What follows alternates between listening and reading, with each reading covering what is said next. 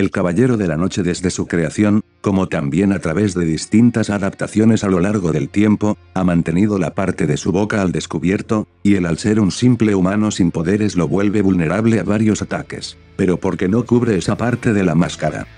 Fuera de que lo ayuda el poder del guion, tomemos en cuenta de que Batman principalmente se enfrenta a criminales con poca experiencia al usar armas de fuego, los cuales aparte de tenerle miedo, lo que hacen al verlo es disparar sin pensar, siendo la mayoría del tiempo en su pecho donde está su logo, el cual es una de las partes más blindadas de su traje, y cuando se enfrenta a villanos con una buena puntería, recurre a actuar con una estrategia para salir victorioso